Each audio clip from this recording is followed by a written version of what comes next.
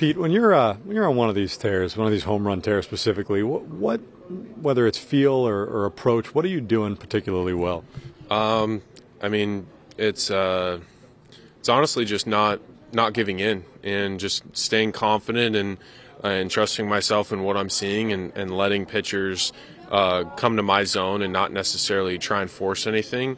Um, I think I'm doing a really good job of, of not giving in, not not necessarily just because I'm pitchers may throw strikes doesn't mean they may, they may not be drivable or something I can handle. So uh, for me, I've been doing a really good job, uh, especially the past few games, of, of staying in my area and then capitalizing on stuff when it is there. How much better do you think you've gotten at that particular skill set from day one in the big leagues to where you are right now?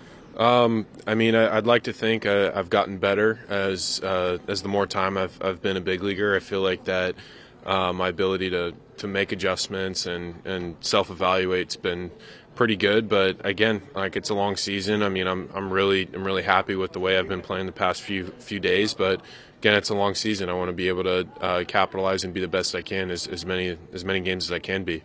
is there, is there? I know the season is a long season and a long process at bat, but, but was there an at bat in Milwaukee where it felt like something clicked? Was it the opposite field home run? Um, no, I mean it's just. Um, I mean, you can't really point it out to one thing. I mean, it, it felt really good. Um, like me at the plate, I, I, I, felt good this entire way. Sometimes, sometimes you get beat. I mean, the other the other guy um, on the other side, he gets paid to get me out, and for me, I I get paid to get a hit off him. So. Um, sometimes in the big leagues, it's, it's really hard. Uh, even though you feel good, you feel nice. You, I have, I'm really, really happy how I've stuck to my process, and um, yeah, really pleased with that.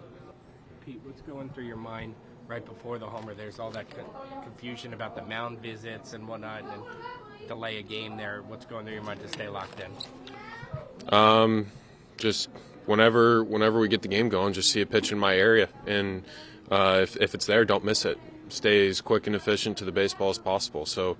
Um, yeah, I mean, also before before that, Francisco had a hell of an at bat uh, just just grinding grinding out, uh, getting that two strike hit. That was that was absolutely huge for us. And then um, I, I, think Eduardo's at bat uh, that that homer was was sick. I mean that that really that really put us over the top today. And like I think he was feeling really feeling really good. Uh, he's having great at bats, but uh, for that ball to go over the wall for not just for him, it was it was obviously good for him, but uh, huge for us as a team. So uh, great at bats up and down the lineup again today. So it was, it was great.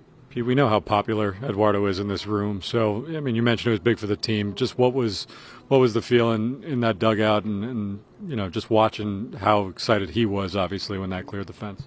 Well, I mean, yeah, he's he's just a he's a special individual in the best way possible. I mean, he's a he's a great teammate and a great human being, and um, I mean, for he's been playing unreal defense for us. He's been impacting the game in a huge way, which I feel like has gone a little unnoticed because he's been so good defensively over there. That's that's really saved a lot of runs for us defensively, and for him to come through and, and kind of um, put the dagger in the heart, I mean that was that was huge for us. So for him to to start feeling better and, and really get in there, It was awesome. I mean I thought we did a great job up and down the lineup, grinding at bats and uh, getting the starter out uh, and relatively early in the ball game.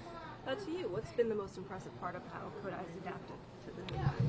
Um, I mean, his English is getting better every day, and he's he's been embracing not just uh, the American lifestyle and culture, but he's embracing uh, every single guy on this team, and it, has been really special to see because, um, I mean, he's, he said he's he's, I mean, it's it's different. I mean, he's got um, all of his family back over at home, and for him to, to perform the way he has, and for him to have the poise and discipline, and, and for him to execute the way he has, it's it's really special. So, I mean, I, I can't imagine what what he's going through because you can only experience it by doing. So, um, what he's been able to do has been really special, and I I just it's it's been really fun to watch. Oh, it's sick. When they had the the Senga and the and the and the Ghost logo up there, I thought I thought that was sick and um, super well deserved because I mean he's he's got something that's extremely unique and I mean I mean he's nasty today. He was nasty in his first start, and I just wanted to keep being being great for us.